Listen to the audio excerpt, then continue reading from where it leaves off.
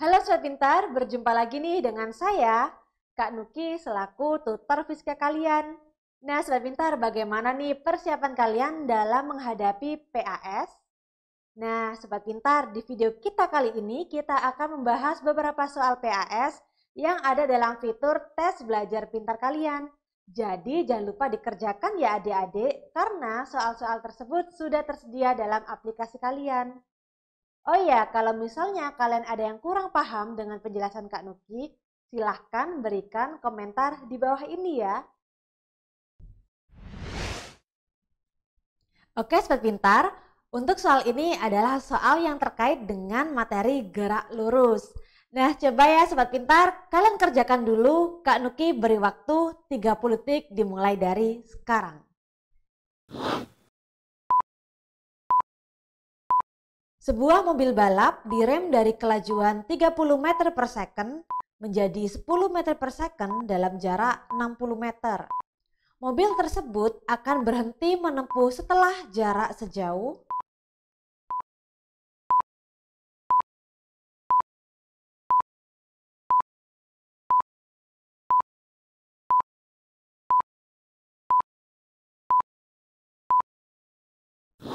Nah, Sobat Pintar, bagaimana nih jawaban kalian?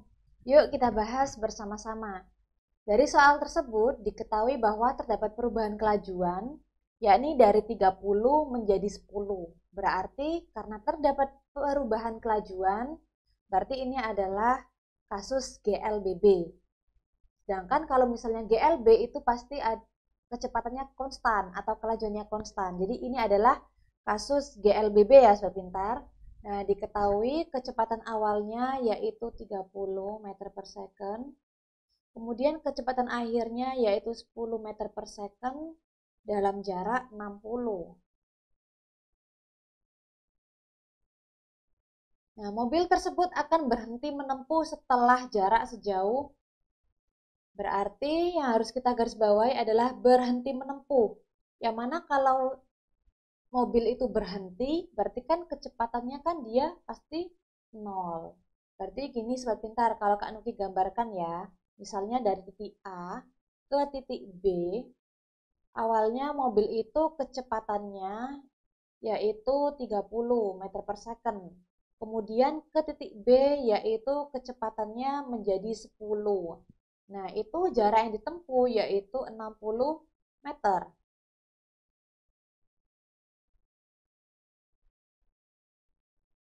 Kemudian ke titik C, yang mana di titik C itu mobil udah benar-benar berhenti, itu kecepatannya pastinya nol ya. Nah, ini jarak yang ditempuh berapa sih? Nah, gitu ya sobat pintar. Sehingga dalam GLBB itu kita mengenal beberapa formula nih sobat pintar. Yang pertama yaitu VT sama dengan V0 plus A dikalikan T.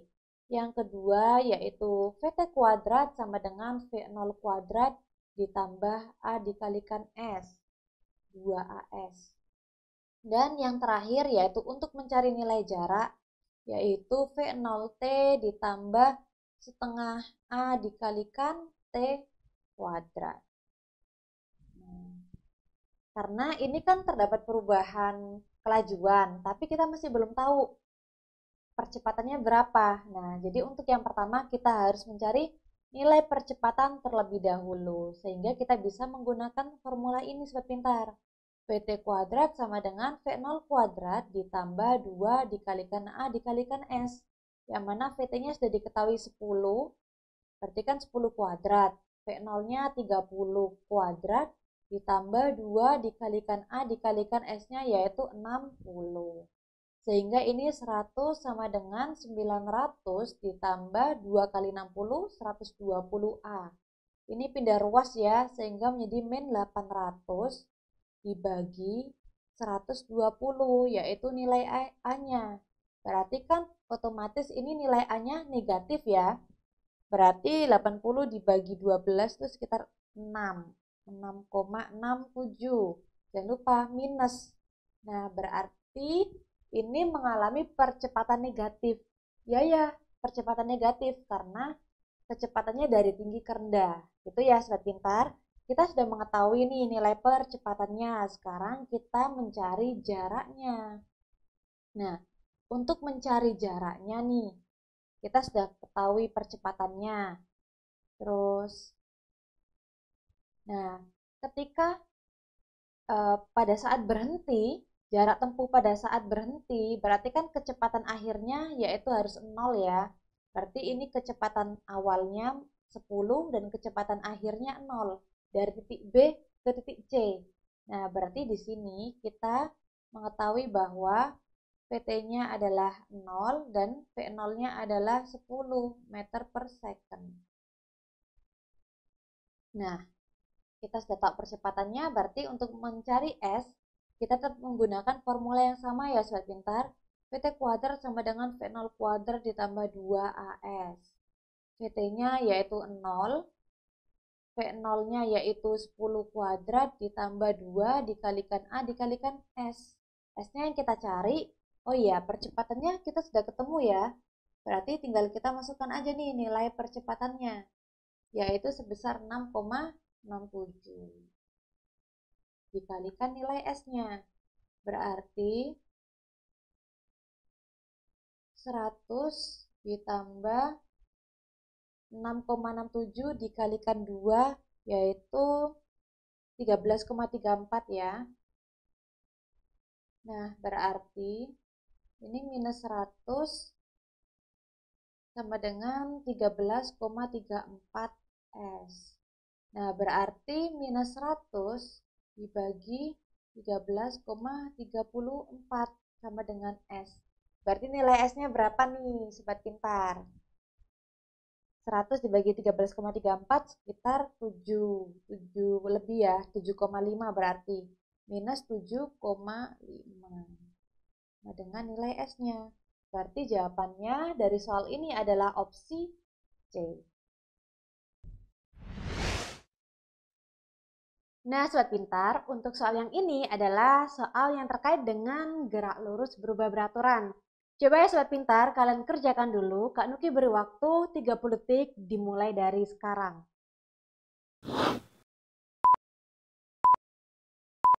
Mobil Radit berhenti di pinggir jalan Ketintang.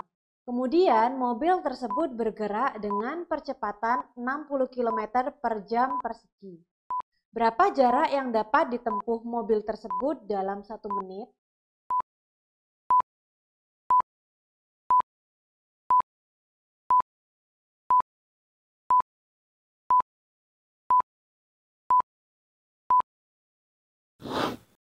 Oke, Sobat Pintar, mari kita bahas bersama-sama. Nah, diketahui mobil berhenti di pinggir jalan, berhenti kan ya, berarti kecepatan awalnya yaitu 0 meter per second. Kemudian bergerak dengan percepatan yang kita simbolkan A yaitu 60 km per jam. Nah, berapa jarak yang dapat ditempuh tersebut dalam satu menit? Berarti waktunya yaitu satu menit. Nah, sobat pintar, ini kan opsinya meter, sedangkan ini yang ditanya adalah jarak yang dapat ditempuh dalam waktu satu menit.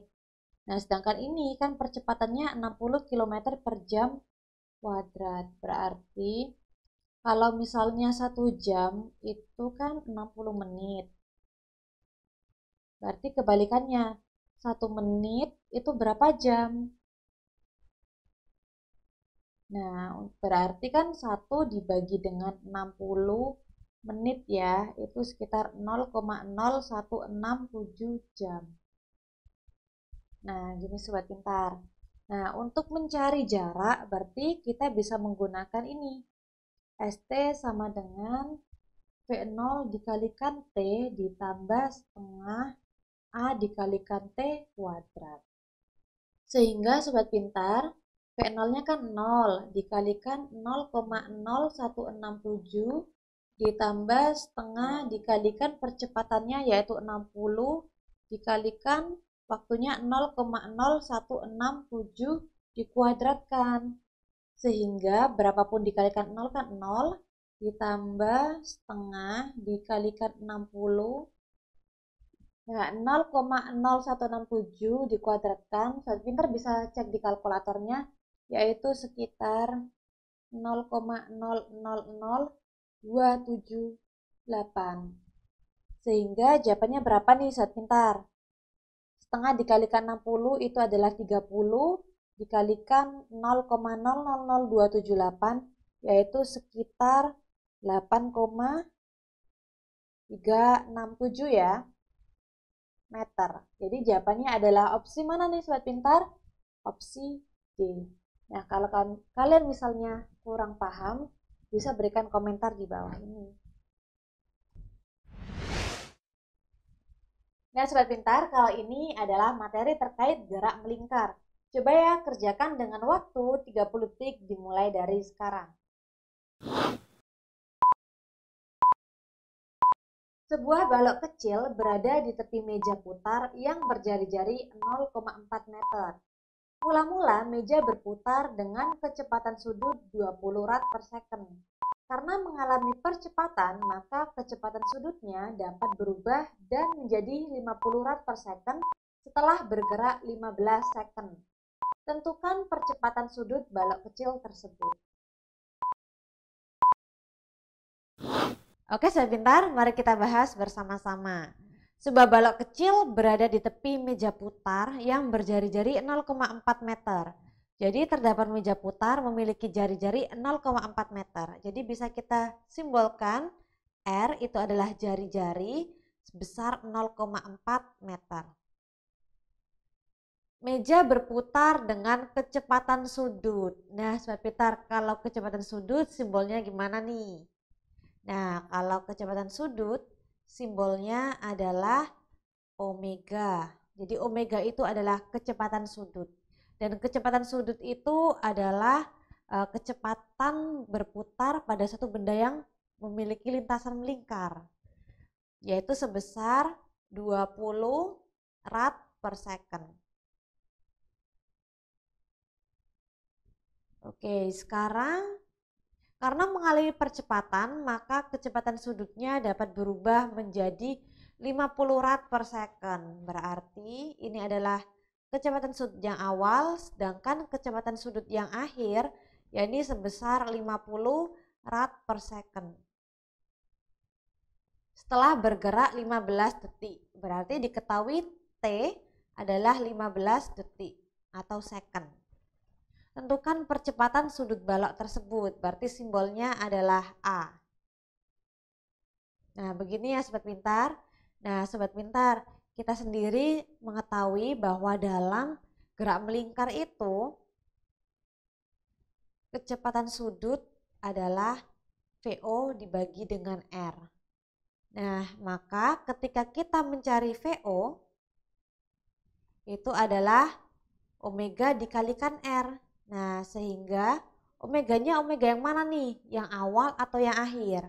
Tentunya karena ini VO, maka kita menggunakan omeganya omega yang awal, yaitu sebesar 20 dan dikalikan jari-jarinya sebesar 0,4. Jadi 20 dikali 0,4 adalah 8. 8 berapa? Meter per second. Jadi kecepatan balok itu adalah 8 meter per second. Nah, setelah itu apa yang harus kita lakukan? Kita mencari percepatan sudut balok. Nah, setelah kita mengetahui kecepatannya, sekarang kita mencari percepatan sudut. Yang mana percepatan sudut itu disimbolkan A. Nah, sama kayak gerak lurus bahwa percepatan itu adalah perubahan kecepatan terhadap waktu, ya kan? Nah, tetapi dalam gerak melingkar, yang mana lintasannya tentunya bentuknya lingkaran ya sobat pintar, untuk mencari percepatan sudut, percepatan sudut lebih tepatnya kita simbolkan A kecil, seperti ini sobat pintar, ini adalah percepatan sudut, yakni merupakan perubahan kecepatan sudut dibagi dengan waktu. Nah, jadi ada kesamaan ya sobat pintar antara gerak lurus dengan gerak melingkar yang mana percepatan itu sama-sama perubahan kecepatan dibagi dengan waktu. sama-sama perubahan kecepatan per waktu gitu ya sobat pintar. Tapi kalau dalam kasus gerak melingkar itu kita pasti menggunakan ini karena percepatan sudut adalah kecepatan sudut dibagi dengan waktu. Sehingga kalau kita harus ini ya sobat pintar. Percepatan sudut adalah perubahan kecepatan sudut dibagi dengan waktu yang mana kecepatan sudut itu adalah kecepatan sudut akhir dikurangi kecepatan sudut yang awal.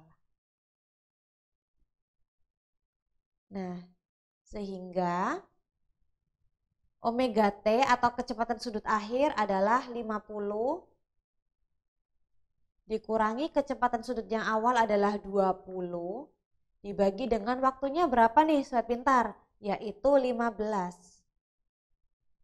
Nah, sehingga 30 dibagi dengan 15. Nah, berarti percepatan sudutnya kita sudah mengetahui yaitu sebesar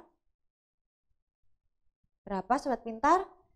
2 rat per second persegi. Nah, dari ini sudah terlihat bahwa opsi jawaban yang benar adalah opsi A sebesar 2 rat per second persegi.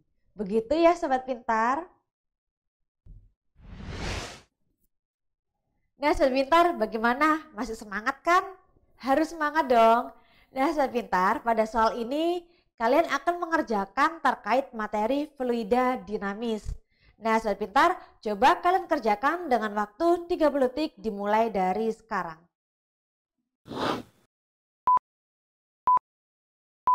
Sebuah pipa silindris dengan diameter berbeda masing-masing 8 cm dan 4 cm diletakkan pada bidang mendatar. Jika kecepatan aliran air pada diameter 2 meter per second dan tekanannya 10 pangkat 5 pascal, berapakah tekanan air pada diameter kecil?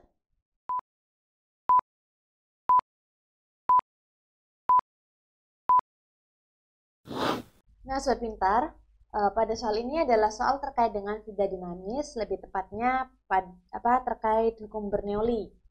Nah, jadi dalam hukum Bernoulli itu menyatakan bahwa uh, tekanan di sisi satu akan tekan akan sama dengan tekanan di sisi yang lain.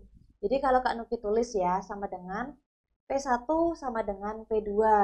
Nah, tekanan ini dipengaruhi oleh kecepatan dan juga ketinggian atau kedudukan fluida dari tempat tertentu.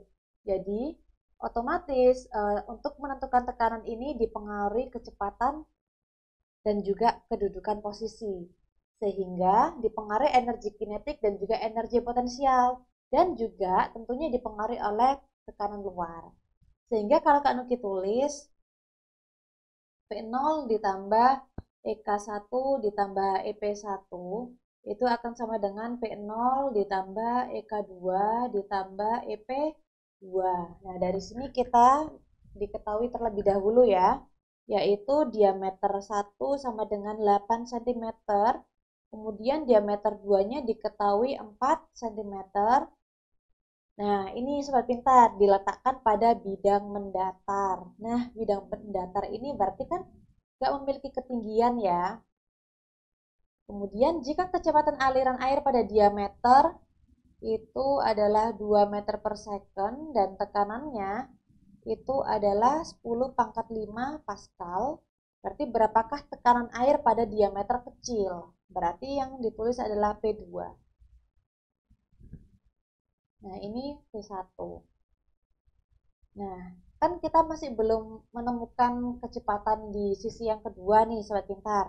Nah, berarti kita harus mencari nilai kecepatan terlebih dahulu. Nah, dengan cara apa? Kita harus mencari menggunakan debit karena setiap alirannya mengalir yang memiliki kecepatan tertentu pada luasan tertentu pasti uh, fluida itu memiliki debit. Jadi sehingga debit atau kita simbolkan Q1 itu harus sama dengan Q2 di mana debit itu merupakan perkalian luasan dengan kecepatan sama dengan luasan 2 dengan kecepatan 2. Sehingga karena ini kan masih diketahui diameter. Dan for your information sobat pintar, kalau misalnya luasan lingkaran itu kan bentuknya uh, rumusnya PR kuadrat ya. Ada nilai kuadratnya. Sehingga ini A1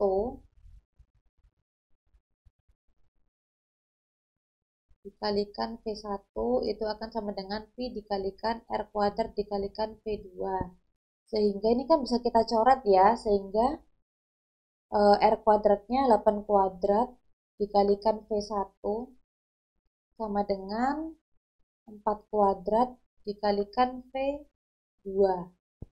8 kuadrat dikalikan V1 diketahui 2 sama dengan 16 dikalikan V2 yang kita cari yaitu 128 dibagi dengan 16 ya, sama dengan V2. Berarti V2-nya diketahui 8. Nah, kita udah mengetahui kecepatan di posisi yang kedua. Sekarang kita masukkan nih ke dalam uh, formula dari hukum Bernoulli, yaitu V0-nya 10 pangkat 5 ditambah energi kinetiknya kan setengah rho V1 kuadrat tambah kan nggak punya kedudukan atau nggak punya ketinggian sehingga energi potensialnya yaitu nol. Sama dengan P0 yang kita cari ditambah energi kinetiknya setengah rho V2 kuadrat ditambah 0 berarti 10 pangkat 5 ditambah setengah nah masa jenisnya air itu kan 1000 ya sobat pintar itu sudah ketetapannya pasti dikalikan V1 nya yaitu sebesar 2 kuadrat sama dengan P0 ditambah setengah dikalikan 1000 dikalikan P2-nya diketahui nilainya 8. Nah, kita tulis sini ya. Sehingga 10 pangkat 5 ditambah 500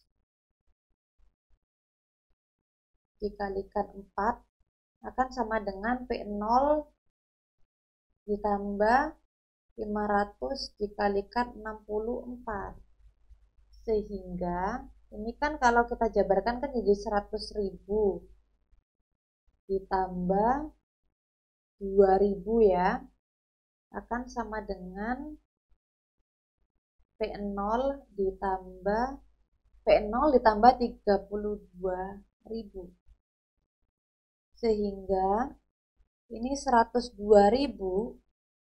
dikurangi 32.000 sama dengan P0. Nah, berarti P0-nya yaitu 70.000 ya. Nah, yang kepala 7 jelas otomatis opsi A. Begitu ya Sobat Pintar? Sobat Pintar, ketika kalian demam, apa sih yang kalian lakukan? Nah, pastinya mengompres kening merupakan pilihan pertama. Dalam mengompres kening, kita bisa menggunakan air dingin ataupun air hangat. Lalu sebenarnya air yang mana sih yang kita gunakan untuk menurunkan demam? Nah, penasaran kan Sobat Pintar? Yuk simak penjelasan Kak Nuki berikut ini. Sobat Pintar, justru kalau kita demam, ternyata kompres air hangatlah yang lebih dibutuhkan dibandingkan dengan kompres air dingin. Karena sobat pintar, kalau kita mengompres diri kita dengan air dingin, salah satu bagian dari otak kita yang bernama hipotalamus akan mengira bahwa suhu kita saat itu sedang keadaan rendah. Nah, maka dari itu sobat pintar, kita dianjurkan untuk mengompres kening kita menggunakan air hangat. Karena apa? Hipotalamus akan mengira bahwa tubuh kita dalam keadaan tinggi, memiliki suhu tinggi atau dalam keadaan demam. Sehingga otak kita akan memerintahkan untuk menurunkan suhu tubuh kita. Nah, sobat pintar, sedangkan kalau dibahas dari segi fisika, nah ini bisa dijelaskan dalam prinsip termodinamika dan juga perpindahan kalor. Nah, sobat pintar, Pengompresan demam menggunakan air hangat ini sangat bermanfaat untuk e, mempercepat terjadinya penguapan karena energi kinetik partikel suhu yang tinggi akan mudah sekali untuk turun atau menguap dan sisanya nih sobat pintar energi kinetik rata-rata ikut turun pula dan akhirnya suhu badan pun turun. Nah, sobat pintar, jadi ada benarnya ya, ternyata kakek nenek kita atau orang tua kita mengompres badan kita menggunakan air hangat. Ternyata dengan air hangat tersebut sangat memudahkan kita untuk lebih mudah sembuh dari demam kita. Jadi gimana nih sobat pintar? Kalian masih mau mengompres badan kalian menggunakan air dingin? Oke sobat pintar kita lanjut ya terkait materi elastisitas dan juga hukum Hooke. Jadi pada soal tersebut kalian diberikan gambar yang mana terdapat beberapa pegas yang disusun seri dan juga paralel dan di antara pegas tersebut diberikan massa. Coba ya saya pintar, kalian kerjakan dulu. Kanuki beri waktu 30 detik dimulai dari sekarang.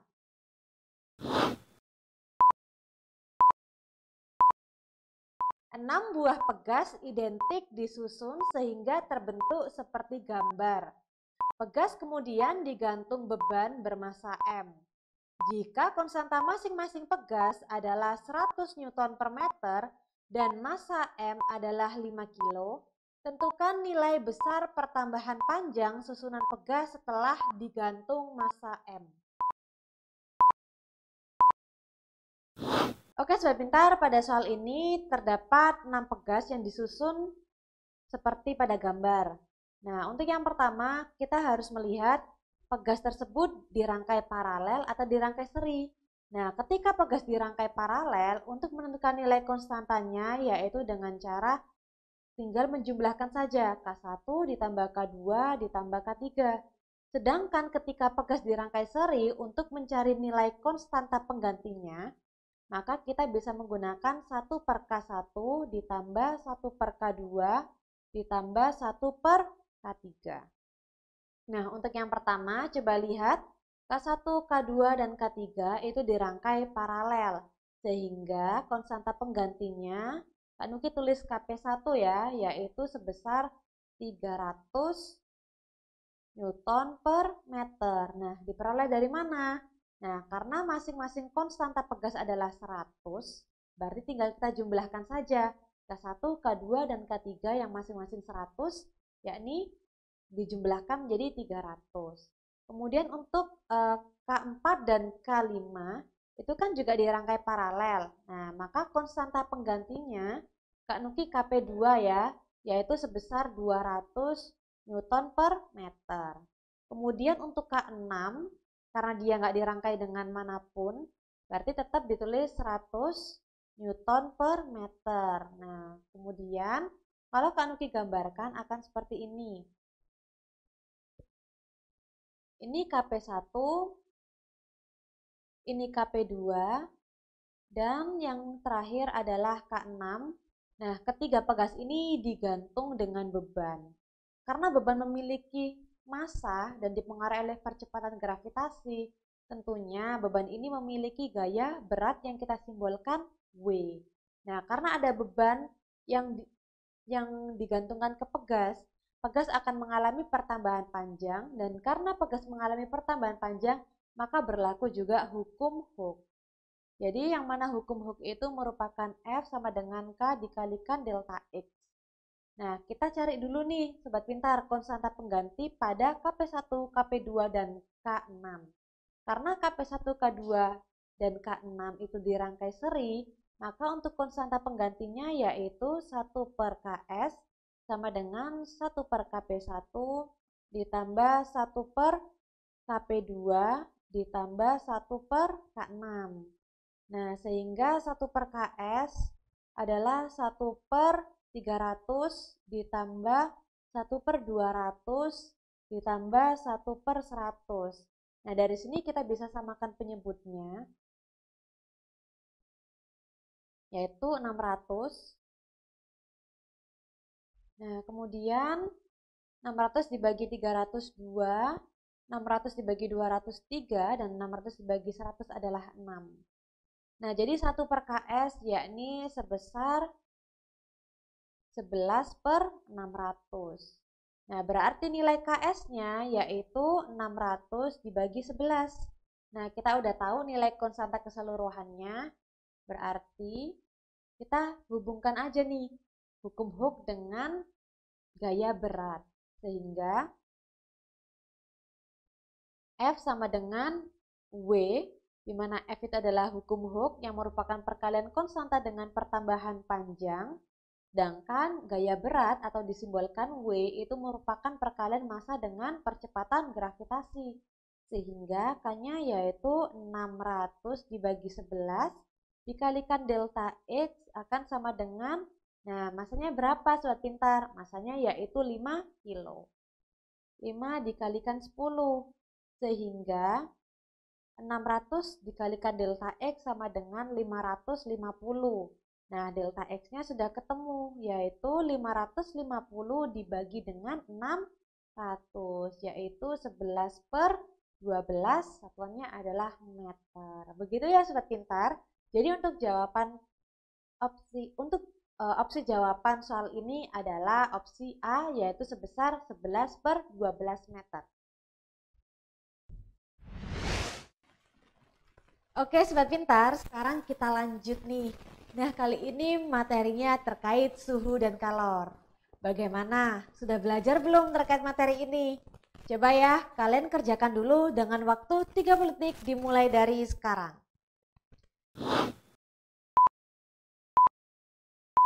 Sebuah batang aluminium memiliki luas 100 cm persegi.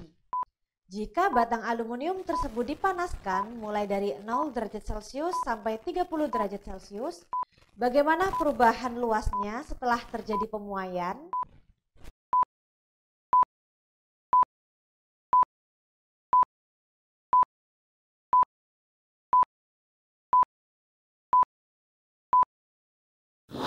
Oke Sobat Pintar, kita bahas bersama-sama ya. Nah Sobat Pintar, for your information nih bahwa pemuaian itu adalah kondisi di mana benda itu akan mengalami pertambahan panjang, pertambahan luas, atau pertambahan volume ketika terjadi perubahan suhu. Nah maka dari itu Sobat Pintar, dalam pemuaian itu dibagi menjadi tiga. Yaitu yang pertama pemuaian panjang, kedua pemuaian volume, dan yang ketiga pertambahan atau pemuaian luas. Nah, lalu apa bedanya sih Kak pemuaian panjang, volume, dan luas? Dari namanya, yang pertama adalah pemuaian panjang, itu adalah ketika benda semakin uh, memiliki suhu yang semakin bertambah, mengalami kenaikan suhu. Nah, uh, sisi panjang dari benda itu akan mengalami pertambahan. Nah, dari sini kita bisa menuliskan bahwa L itu adalah panjang sama dengan L0 yaitu panjang mula-mula ditambah L0 dikalikan alfa dikalikan delta T. Alfa itu adalah konstanta muai panjang sedangkan delta T adalah perubahan suhu. Kemudian untuk yang pemuaian volume Berarti kita simbolkan V besar, yaitu V0 ditambah V0 dikalikan gamma dikalikan delta T. Di mana V0 itu adalah volume awal, gamma itu adalah konstanta muai volume, dan delta T tentunya perubahan suhu. Kemudian yang terakhir adalah luas, pemuaian luas kita simbolkan A dari kata bahasa Inggris area yaitu A0 ditambah A0 dikalikan beta dikalikan delta T. Nah, di mana beta adalah konstanta muai luas dan delta T tentunya adalah perubahan suhu. Nah, sobat pintar dari ketiga formula itu bisa kita ketahui bahwa pemuaian itu pasti terjadi karena perubahan suhu. Lebih tepatnya karena adanya kenaikan suhu ya. Jadi awalnya suhunya 20 cm uh, 20 derajat Celcius dipanaskan sehingga menjadi 90 derajat Celcius. Tentunya benda itu akan memiliki atau mengalami pertambahan panjang atau volume atau luas tergantung situasinya. Nah, sobat pintar dan setiap pemuaian itu memiliki konstanta masing-masing. Jadi untuk konstanta muai panjang itu adalah alfa, konstanta muai volume adalah gamma dan tentunya konstanta muai luas adalah beta. Dan kali ini Kak Nuki akan lebih fokus pada poin nomor 3 karena dalam soal ini adalah terkait luas. Nah, dari sini sobat pintar bisa kita tulis bahwa e, perubahan luas itu bisa saja kita tulis A0 atau luas mula-mula dikalikan konstantanya yaitu beta dikalikan perubahan suhu. Nah, sobat pintar dari sini, dari soal ini kita tentukan dulu nih yang pertama, batang aluminium memiliki luas 100 cm persegi, berarti luas A0-nya yaitu 100 cm persegi.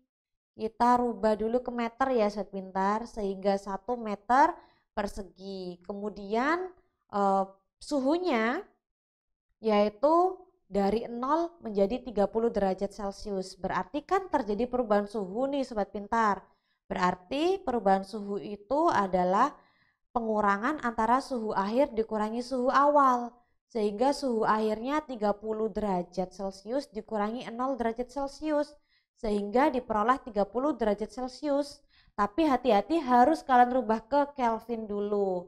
Berarti sama dengan 30 ditambah 273 sehingga diperoleh 303 Kelvin. Jadi sobat pintar kalian harus mengulas ke buku kalian ya cara untuk mengkonversikan atau merubah derajat Celcius menuju Kelvin yaitu dengan cara menambahkan atau menjumlahkan dengan 273. Jadi 273 itu mudah merupakan konstanta pastinya, udah merupakan ketetapan pastinya. Sehingga 30 derajat Celcius ditambah 273 diperoleh 303 Kelvin. Nah, for your information nih, sobat pintar, bahwa konstanta luas itu kan beta ya, disimbolkan beta. Nah, beta itu sendiri merupakan dua kalinya alfa. Dan di sini alfanya sudah diketahui nih sobat pintar, yaitu sebesar 24 dikali 10 pangkat 6 Kelvin. Sehingga 2 dikalikan 24 dikalikan 10 pangkat minus 6 itu diperoleh 48 dikalikan 10 pangkat minus 6. Nah, tinggal kita masukkan ke dalam formulanya nih sobat pintar ya. Jadi Kak Nuki tuliskan di sini bahwa untuk perubahan luasnya sehingga diperoleh delta A sama dengan A0-nya adalah 1 meter persegi dikalikan betanya yaitu sebesar 48 dikalikan 10 pangkat minus 6 dan dikalikan perubahan suhunya yaitu sebesar 303. Nah sehingga diperoleh berapa nih sobat pintar? Berarti diperoleh 145 dikalikan 10 pangkat minus 4 ya sobat pintar atau sama dengan 0,0145 meter persegi. Nah, sudah terlihat jelas nih sobat pintar jawabannya yang mana. Nah, tentunya jawabannya adalah opsi A. 0,0145 meter persegi. Kalau kalian ada pertanyaan, silahkan berikan komentar di bawah. Oke, sobat pintar, sekarang kita lanjut ya. Nah, dalam soal tersebut kalian disajikan gambar rangkaian listrik. Nah, sobat pintar coba ya kalian kerjakan. Kak Nuki beri waktu 30 detik dimulai dari sekarang. Perhatikan gambar rangkaian listrik berikut. Jika tegangan maksimum sumber arus bolak-balik yakni 200 volt, maka besar kuat arus maksimum yang mengalir pada rangkaian adalah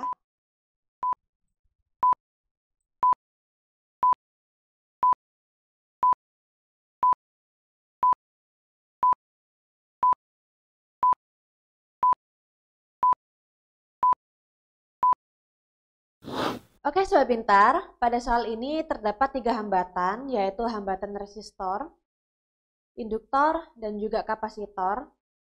Yang mana ketiga hambatan ini dirangkai dengan sumber arus bolak-balik dan diketahui nilai tegangannya yaitu 200 volt.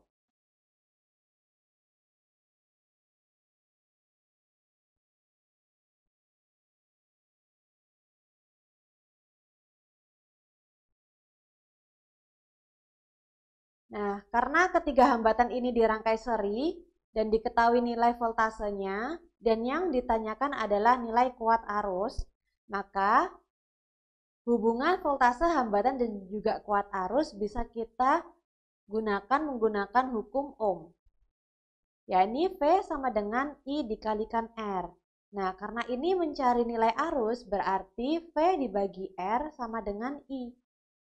Nah, dari sini kita bisa menemukan korelasinya, yaitu semakin besar hambatannya, maka arus yang mengalir semakin kecil. Begitu juga sebaliknya.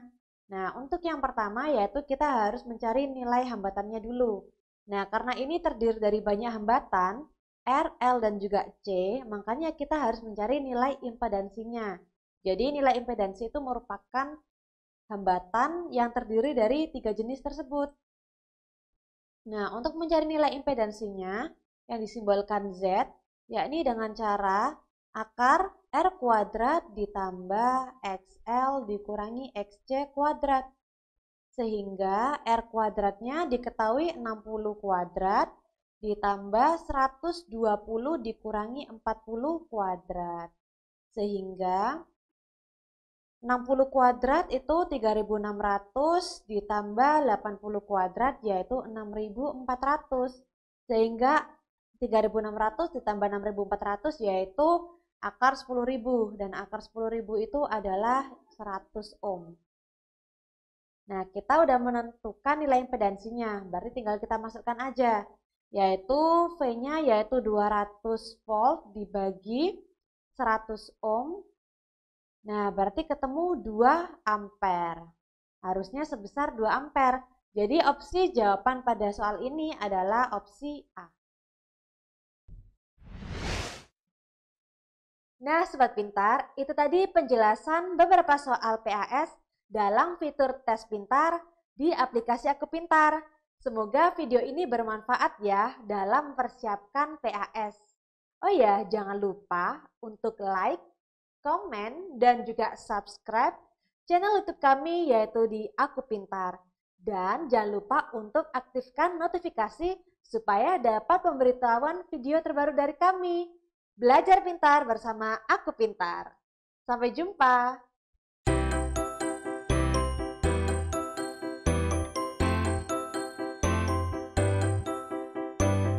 Belajar pintar bersama Aku